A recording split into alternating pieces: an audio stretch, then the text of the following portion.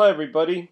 John the Revelator in chapter 12 of Revelation saw, and I'll start uh, just now in verse 5 and, he and she brought forth a man child who was to rule all nations with a rod of iron, and her child was caught up unto God and to his throne. Now, this was the first coming ascension of Jesus Christ. Jesus Christ was caught up to the throne of God after he died and he resurrected, and then he appeared to the disciples for one last time, and he said, In like manner you saw me go up, in like manner you will see me return. And when he returns, he will come back in the clouds to gather his church at the uh, gathering, the catching up, the rapture, and then he will return again with the host of heaven to set up his millennial kingdom for a thousand years of peace on the earth, in which that time he will rule the world, all nations, with a rod of iron,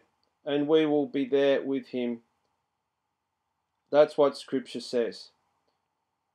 And the two other references in Daniel chapter 12 to 12 and 60 days, three and a half years, is when this woman fled into the wilderness and she was uh, kept from the dragon for three and a half years. I do believe what is said there is future and it is the great tribulation period to come. The last three and a half years, 42 months, 1260 days of great tribulation under the beast when he becomes fully incarnate and powered by the dragon, Satan, Lucifer.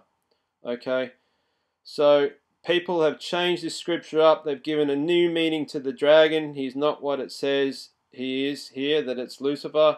They've also said the man child or the child being caught up or being birthed, travailing, travail, the woman travailed in birth and pain to be delivered, but then gave birth to this child is the church now. This is just erroneous teaching. It's and the fate of these people will be uh, Revelation 22 verse 18 and 19, I do believe. So there's a lot at stake here. To believe, come back to the sure foundation word of your of the testimony of Jesus Christ within your King James Bible, and leave these other apostate fools alone. And don't go there. Don't believe their heresies, because I tell you, I will talk openly out against Discover Ministries.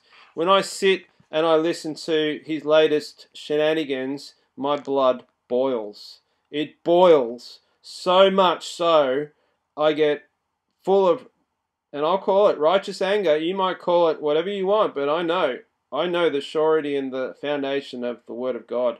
And when I see people speaking and butchering it, completely rewriting it, re-evaluating it, and then re re positioning it, reinterpreting what clearly Scripture says and is meant to be understood. Not a book of confusion, but a book that's easy to understand, to be read. The King James of all books, you know. Don't believe the marketing hype. Go and get yourself a message Bible because it's easier to read.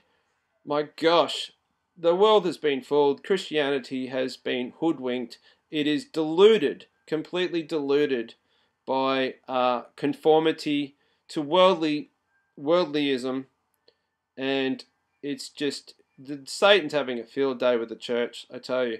And when apostate ministers come onto the scene and they spread this nonsense that we're to look at Revelation 12 now, it's an astronomy, astrology sign that's going to appear, and that's all stepped in pagan mythology.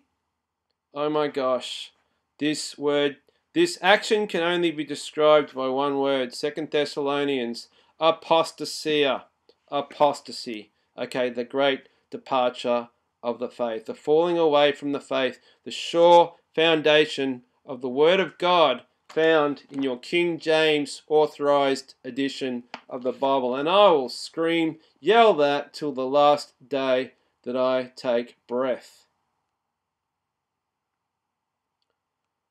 That's my thoughts on this matter. Thanks for listening.